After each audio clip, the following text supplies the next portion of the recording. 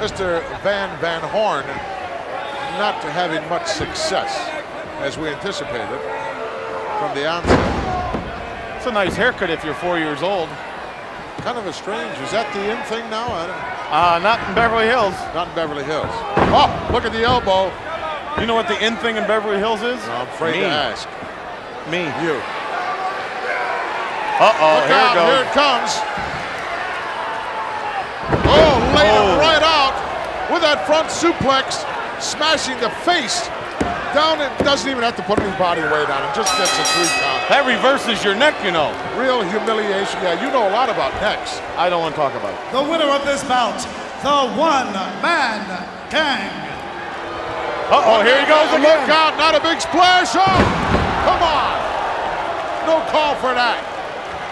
Come on, referee, step in there. He's going to do it again. Look out, One Man Gang coming off the ropes again. That'll have Oh. Richard Van, Van Horne out of here.